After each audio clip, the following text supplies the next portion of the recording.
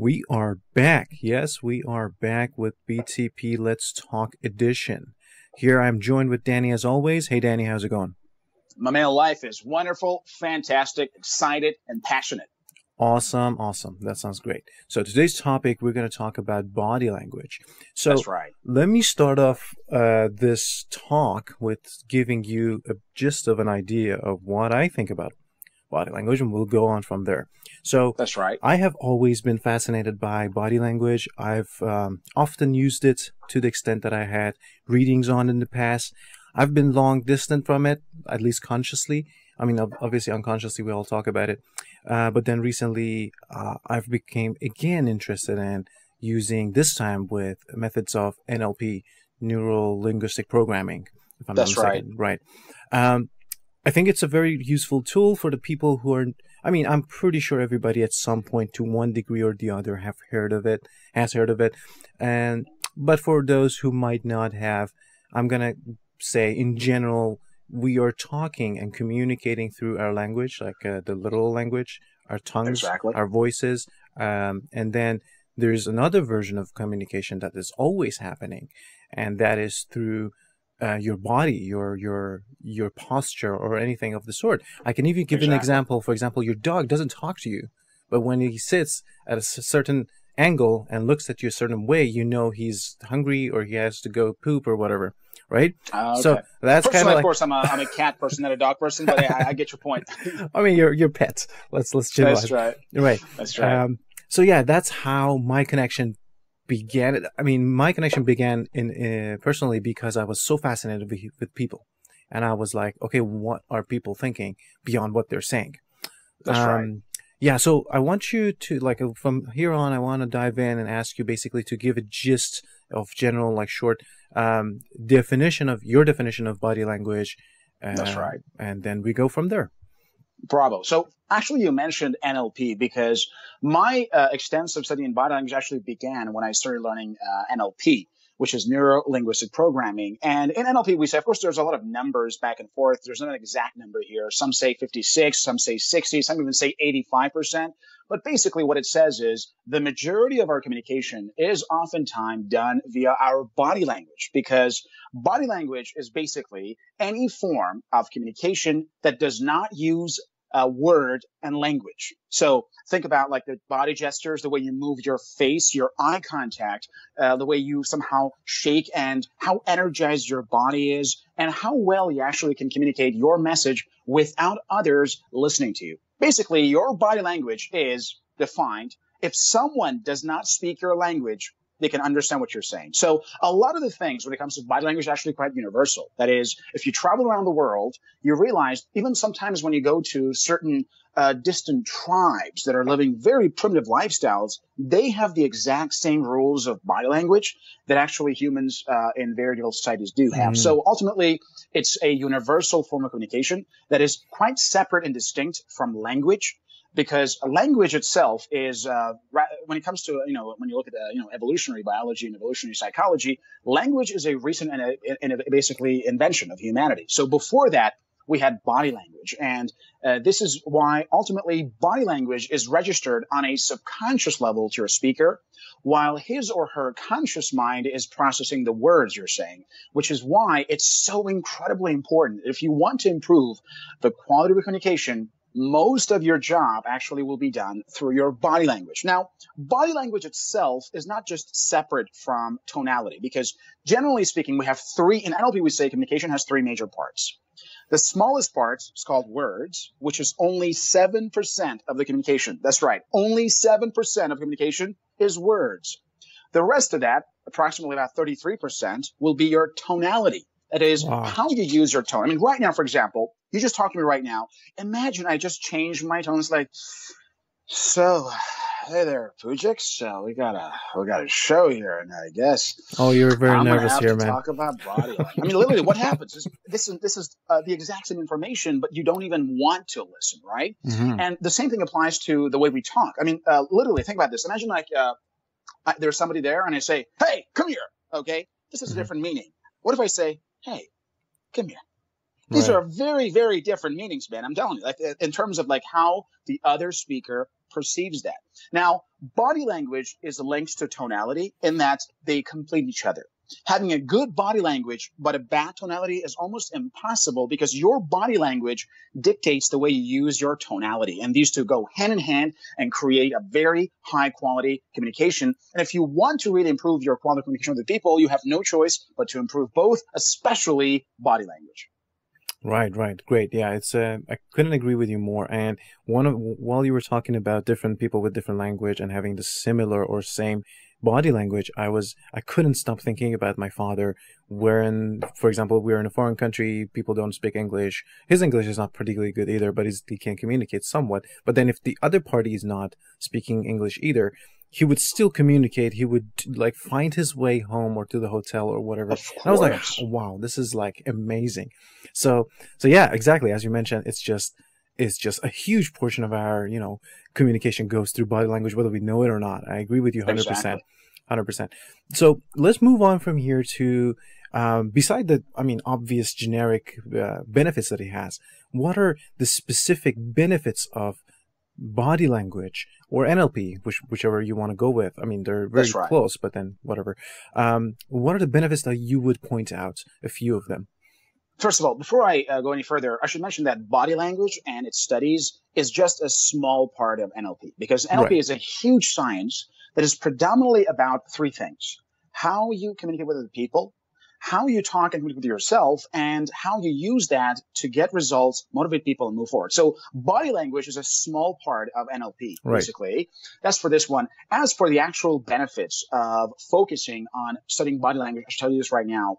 Basically, if you have any desire to influence anyone under any circumstance, whether it is that you are a manager, you would like to work with your staff, if you are, for example, let's say you want to uh, talk to the opposite gender and to attract them, basically, whether it is you want to make friends, whatever it is, if your goal is to Im- uh, improve the quality of your communication and make others listen to you, you need to work on your body language. Why is this? Like, like I mentioned earlier, body language is processed much faster and much earlier than the word itself because mm-hmm. it's processed intuitively by the other speaker and by your interlocutor and by their subconscious mind, which means that, that, that they say people oftentimes make the decision about who you are in less than four seconds of meeting you, mm-hmm. which means your body language is also part of your first impression.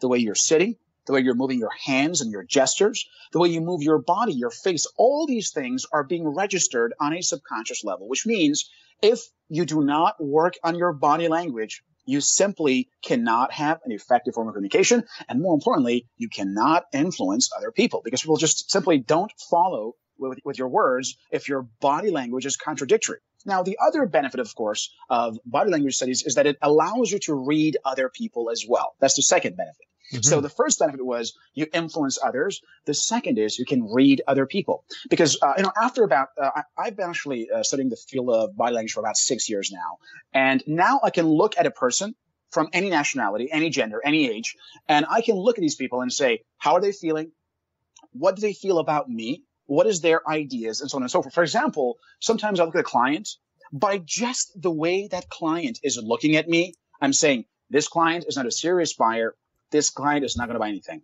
Or I right. look at a guy, for example, in let's say a workshop or a training, and I see this facial expression changes, and I'm not going to see this guy ever again. And guess what? Hmm. I won't. So the second benefit of understanding and developing your knowledge in the field of body language is that you understand other people. And by understanding them, you, you, you actually get who they are, their feelings, their emotions, all of these things. And a good benefit, of course, is lie detection. If you right. focus on developing your body language knowledge, then it becomes almost impossible for others to lie to you. Because when it comes to lying, there are certain biological ramifications that uh, occur when you're lying. And all of those, by the way, could be detected via body language. So uh, these are the benefits. That is, you can understand other people, you can read them, and more importantly, you won't be lied to as easily. Mm-hmm. And generally, when you work on your body language, the third benefit that I uh, can think of right now is its impact on your overall level of well-being. Mm-hmm. You see, most of our negative emotions are manifested in, our, in ourselves by body language. For example, think of the last time you were extremely depressed, mm-hmm. down on yourself. Mm-hmm. How was your body language? Was it straight up or you were somehow down? Was your breathing shallow or very strong? were you was your eye basically your eye contact with other people strong or weak? Did you tend to somehow move fast or move slowly? So once you understand body language, that it almost becomes impossible to be negative. People say, Dan, I rarely see you negative. Well, the right. fact of the matter is nobody ever sees me negative. The reason is because I understand body language. So even if, let's say, today something has happened that is not very okay, because I mean, that's life, right? So once you know body language, despite having heard a bad news or an economic downturn or a political problem, you simply focus, all right, let's go for, uh, you know, body language checkup. So the head is straight up. Okay. The, I'm walking very strong. So you literally can change your body language. And here's the fun part.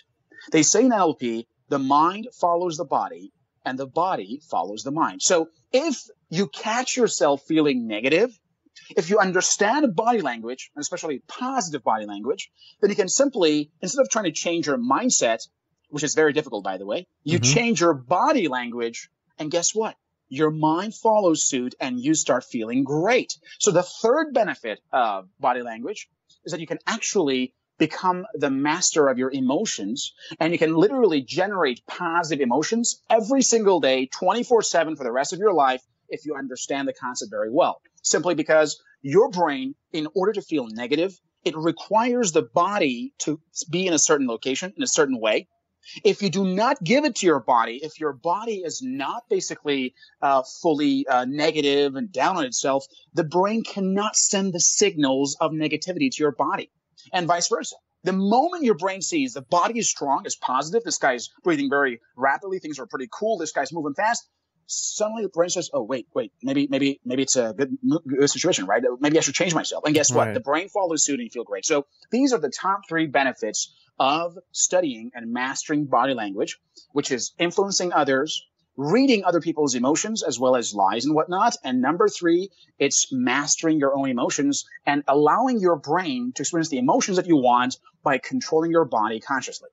Absolutely. Very great. It was beautiful. You mentioned um, lie detection, and I want to mention that not always people actually lie intentionally. They sometimes think they think something, but they don't. But then their unconscious mind knows better, and their body language follows the unconscious mind, giving you the right clue. Sometimes, exactly, uh, like I've personally experienced that myself quite a lot of times, and even in, even in myself, I'm like, oh, really? I thought I really thought I think this way, but apparently not because I'm behaving differently.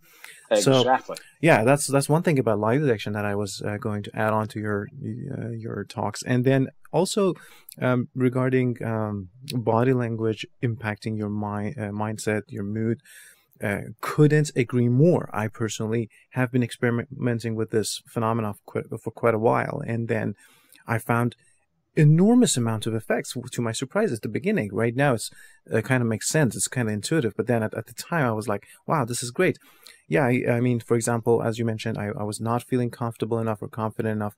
I would do, you know, a straight up open power pose, and then I would immediately, or after a few seconds, I would feel powerful. I would feel confident. I would feel, yeah, it's it's amazing. Your it's body just... at that moment is releasing different hormones, man. Like exactly. literally, by the way you move your body, by the way you stand, your body starts producing different hormones. Yep. Like for example, if you're a male. By simply having a power pose, as you pointed out yourself, mm-hmm. your body begins releasing testosterone. Mm-hmm. And as soon as you have a down gesture, your body begins releasing uh, cortisol, which is a stress hormone, which starts diminishing your energy level as well as self confidence. Yeah, absolutely. It's um, it's a very interesting phenomenon. And for our audiences, whoever doesn't believe us, just do it. I, I promise you, you're going to see it, and um, it's, it's, it's amazing. Um, so let's let's move on from benefits a little bit to a little bit of a more practical aspect of this, meaning, okay, how do we do this? How do we let's be specific. How do we use to let's say read people, read what they think? Um, can you give a few tips about this?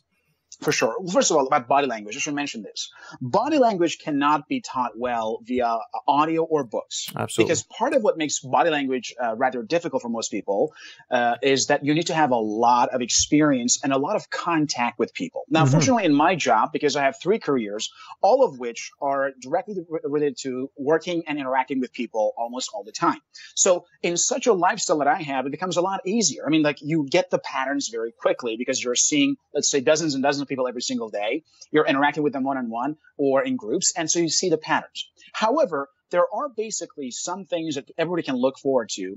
And th- the good news for body language is this. I mentioned earlier that body language is for communications. Here's the good language. Understanding the basics of body language does not require any education because it is literally wired into your DNA. That is, mm-hmm. everybody can understand. I mean, when you're with somebody, for example, and he starts to, for example, his uh, body starts to somehow get agitated, the eyes get wide open, the mouth is open. You can guess, all right, this guy is kind of shocked, basically, right? Mm-hmm. So the good news about body language is this: there are two degrees of reading people. One we call understanding on the surface level, one we call understanding the intentions and emotional makeup. Now, here's the good news. Understanding the surface level body language does not require any training or any education. Anybody can do it. Anybody can look at someone and say, this guy's happy, this guy's sad. It's kind of obvious because we get it on an intuitive level. Now, the second uh, layer, the second, and of course, a deeper layer, it requires understanding of psychology that allows you to know the intentions for example, let's say you're a poker player and you're looking at a person who's playing poker in front of you. Mm-hmm. Now, did you know that many poker player can simply guess your move by looking at the pupils of your eyes? Mm-hmm. For example, if you're playing and let's say you're bluffing, they simply look at the pupil of your eye and see how large and large it, large it is right now. If it is larger than usual, that implies you're actually lying and you're scared and afraid of being caught. So these are very tiny things. Mm-hmm. When it comes to body language, generally you want to look at three major areas. Number one, the physical posture, either while sitting or while moving. That is the way the hand are put, for example, the way your legs, when you're sitting, for example, how straight your back is. So that's called the body part. Then mm-hmm. there is the hand gestures. That is the way you move your hand while you're talking, because it also has a lot of implications. Mm-hmm. And the third is about your face particularly about your body language involving your eye contact, the way you move your lips, your all of your facial uh, basically gestures around the face because they all imply a lot of emotions basically. Mm-hmm. So these three areas are quite important, and of course the fourth element is uh, tonality. Now. Right. I myself, I'm a more uh, basically auditory person. So actually, before I even read the body language, I actually uh, get the tonality because tonality itself has a vibrancy. I mean, you talk to a person, for example, and says, I ask him like, so how was your day? And uh, he says, well, it was great, man. It was, uh, it was uh, very good. I'm, I'm feeling very happy. You see, this person does not have a tonality that seems very happy. And it's just like, come on, you're bullshitting me. Something's going on. And say, oh yeah, actually this happened, this happened. So ultimately, the fourth element is about uh, tonality. So you want to pay attention to all these four, basically. Mm-hmm. That is the physical stance and the physical movements, including your hand gestures, the face, as well as tonality. These are all parts of the things you have to pay attention to in order to understand it. Now, the details, of course, that requires personal experience. Uh, for example, you want to look at the faces of a lot of people before you can actually get uh, to know how you can read uh, their, uh, for example, uh, uh, their faces, and how more importantly, you can understand whether they're lying or not. Now, right. for that lie detection, I give you one quick tip because that one does not require a lot of practice, and that is the eye directions. You see, uh, let me ask Ryan something, Poujix. Uh, what do you think uh, lying really is from a neurological brain point of view? Um, so my my view on lying is that you believe in something, you do right. think something, but then you're trying to communicate something completely different to that of your knowledge or belief. That's right. Very well. Now, right. you mentioned believe. Of course, let's talk at, at a more uh, neurological, scientific level. Mm-hmm. Whether you believe something or you remember something or whatever, it simply means that information is stored in your brain via synapses. Okay. Right. So let's say you, in your memory, in your brain, there are some synapses that have been stored and registered as this particular type of information. Mm-hmm. For example, let's say that you, for, let's say your boss comes in and says, okay, so did you do your reports? Do you think you'll be, they'll be ready by, let's say Monday? Mm-hmm. And you look at the, oh, basically, you look at the watch and the, oh shit, I got only three days and this is a huge project. you say, yes, boss, it's ready. So once the, the boss asks you about the report, you access your memory Mm-hmm. And then you uh, there you see what exactly you've done. You say, all right, we have a huge project. The boss wants to report by Monday, and I got less than three days. Right. This is not enough. You see, this is this information is logical, it's stored in your basically a brain. Mm-hmm. Now, when the boss asks you, don't you want to lie? What do you have to do here? Can you guess? Have to change that pattern. Or simply create a new pattern. That is, create a new story right. and then tell that story to the boss. So in your brain, you first create a story of you having done the report and then tell the boss, yeah, sure, boss, it's ready. I'll do it. Right. So basically, from an NLP point of view, lying, uh, telling the truth is when you access your memory, mm-hmm. uh, basically, and then you say it. Mm-hmm. Whereas uh, lying is when you access the creative part of your brain mm-hmm. to create a false story first and then tell that story to the speaker. Mm-hmm. So ultimately, when it comes to lying, lying involves uh, one extra step than telling the truth. Right. Telling the truth is you access the memory and then you tell the memory to the other person. Okay. Right. Have done your report. Sorry, boss, I couldn't. You see, mm-hmm. that's direct. Mm-hmm. When it comes to lying, there's an extra pathway, and that is first you access the creative part. First, you access your memory. Mm-hmm. Then you realize it's nothing. Then you access the creative part of your brain, which is uh, create a story uh, narrative that is not real, and then you tell that narrative to the, to the, to the other person, which means you involve you. Basically, lying is a creative act ultimately. Because of this, one of the easiest way to know if somebody is lying, anybody can do it right now. Mm-hmm. Simply, when you're looking at the other person from your point of view, that is from your perspective, when you're looking at the other person, you have to look for the eye contact and to see whether the person's eye first goes towards up and right or up and left. Mm-hmm. So this is uh, so basically, if I'm talking right now to, to, to, somebody and that person is telling the truth, that person uh, looks up and right from your perspective. From my perspective, that's the part of the brain that needs to access the memory, which mm-hmm. means this person is retrieving his me- or her memory is not creating a story.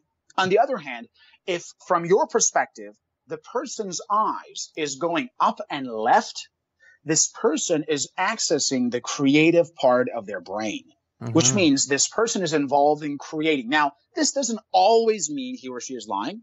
Because right. sometimes when you're, especially when you're speaking in a foreign language, you have to do some of these things. But in most cases, when a person from your perspective, from your angle, looks up and left, that person is creating and making up a story, which by the way, that's a lie. So to make it simple to remember, R is right, L is lie.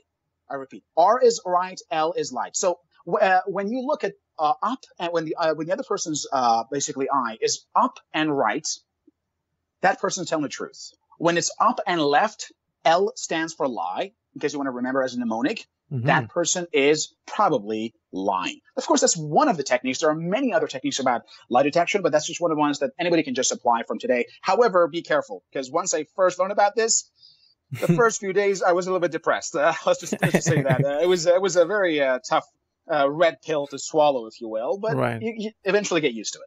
No, absolutely, it, it makes a lot of sense. And I think I think I want to add on to that in terms of lying that you can also use the same technique, which I, I did a few times. It's, it's actually harder on yourself. Use it on yourself, basically, meaning that we all we tend to, as, as a species, to justify ourselves. We tend to lie to ourselves sometimes, um, and you can c- catch yourself you know on the spot as well sometimes with your own body That's language right. with your own again where are you looking at uh, even when you're talking to yourself because everybody does talk to themselves not out loud necessarily but you do communicate with yourself basically of course so so yeah i mean as a as a as a little bonus it's it's actually harder i guess um because it's it's you and if you're t- intending to lie to yourself intending to convince yourself it's it's going to take a lot of effort to consciously move it. But anyhow, um, exactly.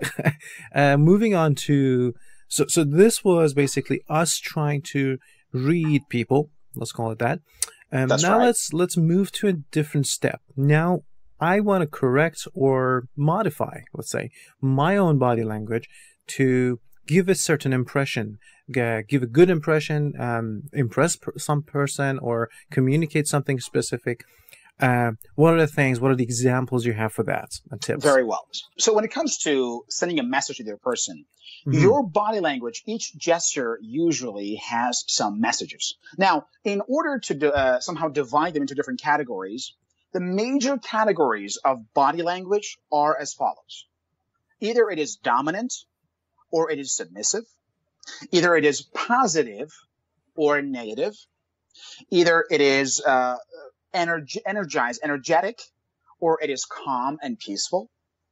Uh, either it is sincere and friendly, or it is uh, basically with animosity. Mm-hmm. So these are different categories. For example, let's say that you are talking to a person and you put your and you cross your hands backwards, okay, like you literally kind of like these police officers, Mm-hmm. and you look at the person with your hands behind your back. Mm-hmm. Now, by doing this on an evolutionary level, you're exposing your vital organs. That is, you're exposing your neck, which can be cut off. Again, we're talking about like evolutionary level here, right? So in the past, we had like animals and whatnot, and knives and whatnot. So once you, uh, once your hands are behind your back, your head is straight up, which means you're exposing your neck to the other person, and you have a very, uh, you know, uh, dominant gesture.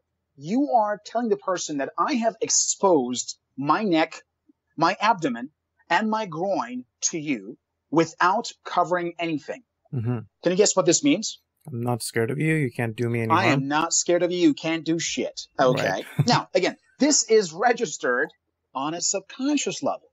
You can do the same thing and talk very politely. You're not saying you can't do shit in that. You simply are looking directly by this is being registered because you're exposing your vital organs to the person as a sign of dominance and lack of fear. Now, on the other hand, I'm sure you know this common gesture where people literally, kind of like these soccer players, where they hold uh, their hands in front of in front of their groins, basically. Right, right. So imagine the same person who holds his hand in front of his groin and then looks down on the ground. What does this imply? Oh, now, now he's scared. It's uh, Now he's He's protecting his complete- he's, he's protecting his neck by looking downwards, right. and he's trying to protect his abdomen and groin. This is a sign of I am scared of you. This is a sign of, of, of being uh, submissive. That is, Mm-hmm. uh, you are showing the other person I'm afraid of you, basically, right? Right. So this is one example of dominance versus submissiveness. The other point is about the way you move your facial expression. Is it positive or negative? Oftentimes, positive body language involves agreeableness and friendliness. mm-hmm. Things like a strong handshake, things like a great smile, strong and friendly eye contact. Because we have two types of strong eye contact. One is the one that creeps you out, Right. if you know what I'm talking about, like ogling and stuff like that. One Right. is that is it, it implies friendliness and connection, right? So these are all part of the factor, basically. The third element is about your energy level. How energized, how vibrant, how potent your body is. Are you sick and ill, ill, or do you tend to somehow uh, ex- uh, uh, somehow exert and uh, express yourself as a very healthy, vibrant, and energetic person? Because we tend to hang out with, we like to hang out with people who are more healthy, who are more energized, who Oh, are yeah. more exuberant, basically. That's very important, particularly with respect to dating and romance. This part Mhm. is very important. Mm-hmm. The other point, of course, is about your level of confidence. Ultimately, once when you exhibit a dominant body language that is friendly and positive, you come off as very confident. Because confident people, why are they confident? Because they have no fear. You see, confidence, in, in, very, in, a, in a simple sense, is the exact opposite of discomfort. So the more comfortable you seem, that is, the more comfortable your body language uh, seems like in front of other people, the more confident you are. Now, in the United States, for example, more people are afraid of public speaking than they are afraid of death. Can you believe that? It's just, Wow. it's unbelievable. So what happens when you put this guy on, on a stage, just talking in front of a you know large audience? How comfortable do you think he or she will feel? Starts shaking, so nervous, the hands, all those things. Right. Exactly. On the other hand, you put a professional speaker on the stage. He won't even think about the speech he's making. He just think he's talking to the audience while in the back of his mind he's thinking, okay, I got to go get this one. So like for him, it's all automatic, right? Mm-hmm. So confidence is, uh, from a body language point of view, is the exact opposite of discomfort. The more comfortable you look for the other person, for the other person, uh, the more confident you appear. For example, think you're on a date with a beautiful girl Right. if you are the kind of guy who has never been on a date with a hot girl before, so you tend to be very discomfortable. You start sweating, you talk very fast, and then your voice, your tonality changes, and you don't know what to say, all those things, right? Mm-hmm. Imagine, on the other hand, another guy who has gone on a, you know, quite a few dates. When he goes on a date, he sits relaxed back on the chair and then looks at the eyes of the girl and says, so, what up? Talk right. about yourself.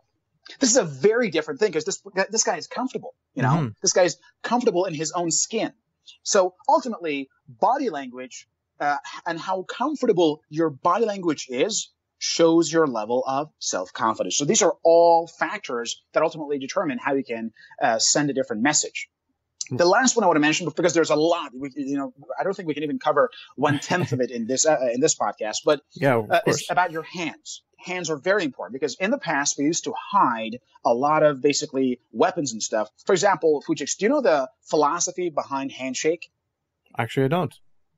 Well, in the past, if you remember, uh, if you're familiar with, uh, for example, the franchise Assassin's Creed and the knife they used to hide oh, in their oh, hands. Right. So in the past, people carried their knives, just like, uh, you know, these assassins, in the back of the, on, on their uh, forearm, basically, mm-hmm. Uh, or in their hand. So whenever they met someone, they, uh, the, the, original handshake was not with the basically the palm of your hand. It was actually with the forearm. Right. So people would grab each other's forearm to see if there's any weapon concealed or not. Right. And this eventually became a tradition that everybody followed. Mm-hmm. And nowadays, since we don't carry knives under on our forearms, we simply uh do the handshakes with the with the palm of our hands. Right. So ultimately, that's a sign of friendliness. That is, I'm not a danger. You see. Mm-hmm. So, for example, on most presentations, if you show the palm of your hand, the other person, all the research shows that the other person begins to trust you more. Because wow. on a subconscious level, uh, on a DNA level, he thinks you don't have any weapon. You're not a threat. And that person trusts you more. These are amazing stuff like that. The body language studies, man, they have shocked the hell out of me. Like it's unbelievable. Like your eye contact, all of these factors have more to influence than anything. For example, in field of sales, most sales will say like, man, I should just cut the cost, man. I say, don't worry, don't cut the cost, increase the cost, but do a good sales presentation because ultimately research proves that people buy from salespeople that, that are popular and that people like much more, even if they have high prices than the salespeople who simply don't know what they're doing with their body language, but have low prices. Mm-hmm. So ultimately, these are all about influence. And these were some, some of the examples I could give you right now, but ultimately understand this. The field of body language is like an ocean. You can literally swim forever and you can always find something new and if people in this uh, in this uh, basically uh, podcast or listen to our podcast are interested there are a lot of resources available online and many books about how to read different gestures that accompany photos and if it's online also videos to show you exactly how to read different types of body language and how to express yourself as well Right. I couldn't agree with you more. Every every single thing that I learned about body language to this date has blown me away to a degree unimaginable. Um, That's right. Something else you mentioned that I wanted to point out. You mentioned that we like to be tend to be around energetic people, people with lots and lots of energy, and then we get energetic as a result. And that that um, we can refer back to our previous talk saying when you change your own body language, you feel better. Think about it. Somebody else's body languages and, and, and energy is influencing you to feel better. Think about how your own body language and energy can influence your exactly. own self. So that's another, you know, proof of the concept. Um, that's right. Let's um, let's move on to a little bit like starting to wrap up our talk and that's right we talked about different benefits different ways to read people and give impressions of ourselves overall what are the tips you give our audiences in order to um, learn more, of course, but at the same time improve their skills. Personally, I think one of the most important aspects is definitely practice. I mean, there's no other thing, like, there's nothing to replace practice with. But Absolutely. in general, what are the things that you're going to go and uh, help? What are the things that you've done to help you improve your skills? Let's say that. That's right. Well, if you ask my friends, they know that I don't do much texting of any kind. That is texting back and forth, smileys, whatnot. Mm-hmm. The answer is very simple. Most of the people in the modern world are spending more and more time communicating via text messages, which is oh, right. just, n- I told you earlier, guys, words are only 7% of the communication. So if you spend most of your time texting, you are literally running at 7% efficiency in terms of communication most of the time. Mm-hmm. So limit your texting and instead engage in face-to-face interactions. Mm-hmm. I myself, I prefer phone call over text. Can you guess why, Poujix? I, I, I rarely text, if at all. And if I do text, it's probably just just just for arrangements, like I'll see you at this time or this, that, that. Right, right. It's never for communications. Can you guess why I like phone call a lot more than I like texting? Right, because your tonality is missing. In, exactly. In and we mentioned tonality is at least 20, 25% of the communication. So when I'm talking yeah. to a person on the phone, I can understand him or her. But mm-hmm. on a text, I can't do that, you see, and I like to understand people. So number one, limit your texting, limit your screen time, and instead start interacting with people on a face to face basis. Trust me. I'm telling you right now, most of your body language knowledge comes from experience, and that requires you to have face to face contact. Unfortunately, this is on basically in our modern world today, it's actually quite uh, limited, and most of us are not spending enough time interacting with others face to face. We're just texting back and forth. So what I did for myself, I said, from now on, for me, texting is not a means of communicating. It's a means of arranging things. So let's say, for example, I want to go out and I want to invite my friend. I just say, all right, I'm going to do it this time, this and this day. Are you ready? Good. Thank you. Goodbye. So I don't just uh, sit down and say, so hello, smiley. How are you doing today? Smiley. oh, nice. Smiley. I don't do these things, right? So I I limit my texting to either business only or arrangements so that I can actually communicate face to face most of the time. Secondly, of course, it's about understanding the ins and outs of body language by studying the field of uh, you know body language. So there are so many books out there about this concept that I can even like uh, there are so, just if you Google body language or if you just go to a bookstore and just look for the body language section, you find so many books you'll be surprised that oh my gosh these guys I mean please stop it already we're just uh, uh, dying of having so many all these uh, yeah. goddamn books basically. By the way, there's so literally a body language section in bookstores. Just just yes, in case people didn't believe it. that's right. It is. It is just unbelievable, man, because yep. it's uh, very critical.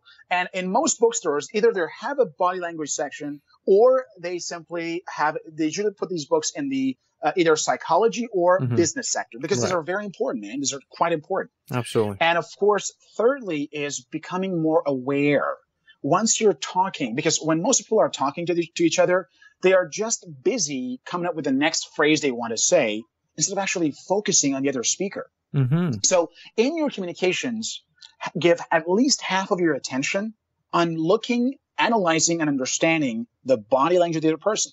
Is that person agitated or is he or she comfortable? How, how, how does he or she talk? Uh, is the sitting posture relaxed and comfortable? Does he or she occupy a lot of space, which is a sign of dominance, mm-hmm. or does he or she try to occupy as less space as possible, which is a sign of submissiveness? So when you're talking, don't just focus on the words and the stories, because let's be honest, a lot of us we are blind to body language. We don't even look at it. Of course, not on a uh, basically on a subconscious level, we all read it, but not on a conscious level. So right. you want to uh, somehow dedicate a part of your conscious processing to actually reading and analyzing the body language. And trust me, over time, the patterns emerge and you start to read people even without studying it. However, if you do study the subject uh, in depth, you will benefit immensely from basically this pursuit. It's wonderful. Great, great, fantastic. It's lovely. All right, uh, I think we're almost at the end of our um, talk today about body language. Do you have any final tips or final comments about the whole concept? For sure. Understand this, guys. Your body language speaks much louder and much more clear than any amount of word you use. I know a lot of people who are very well, who are very uh, literate. They have a lot of great knowledge and they talk very well, but they have such, how should we call this? Uh, such terrible body language, to use a polite word, that the speaker doesn't even want to listen to them. Like, especially a lot of professors actually like, like, ladies and gentlemen, I got to tell you something right now. We please, if you take a look at a board, we I mean, come oh, on. sometimes kids. being monotone. I just want to go to bed. Oh my god! I just yeah. want to go to. I just want to go to bed right now. Seriously, like yeah. this is just very important to focus on improving that body language because ultimately, people will understand and read you much more by your body language than your words ever will. And also for those who are learning foreign languages, understand this, that ultimately your body language shows much more about your level of fluency than your actual knowledge of that language. I mean, once I was having this conversation with a lady, a French lady, and uh, as most of you guys might know, my knowledge of French is uh, literally dismal, to say the you know the least, and uh, it probably is at a Tarzan level or something. Probably Tarzan wow. would speak and communicate better uh, in this field than I do. But guess what? I remember at that time I was talking to this lady, and my entire uh, vocabulary knowledge in French perhaps was, let's say, 50 or 60 words of this most simple, of course, the simplest words of all. Right. But since I was using my body language in, in the correct and in a, a confident manner, I simply asked questions, let the other person talk as much as possible while me understanding practically nothing. Right? but by that thing, she was, we talked for like 20 minutes in French. right. And guess what? At the end, she said, You're so fluent. I've never talked to any, any foreigner like this before. Man, it's so great. Wow. Guess what?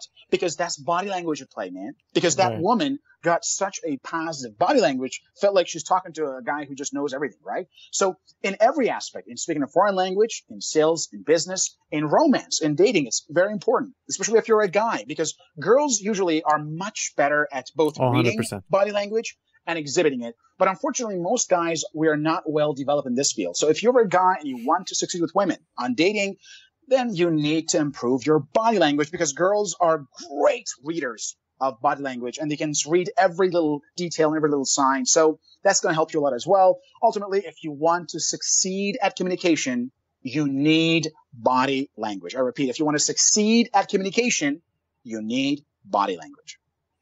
Thanks. Thanks very much, Dan. It's uh, it's a, My it's pleasure. definitely an amazing field, and it's a very useful one, of course. Um, whether you want to read people, whether you want to you want to influence people, or whatever you want to do, really. As as Dan mentioned, more than fifty percent of our communication, sixty whatever, is body language, and of the vocal p- part, only seven percent are actually the words that you're saying. Although they do matter, but the the way you say it, it's definitely much more important than what you say. Um, So in any true. in any case, uh, this was a very fantastic and phenomenal uh, episode of our Let's Talk version, and uh, hope to see you guys later. Thank you, Dan. Thank you very much. My pleasure. And uh, guys, if you like it, please rate us on iTunes. If you're listening to us on iTunes, comments. Um, if you if you want to get in contact with us, comment on on our shows. We're gonna uh, definitely get back to you. Tell us if you have any other topics in mind you wanna you want us to talk about. Hammer like we did this one and the previous ones, and tune in next week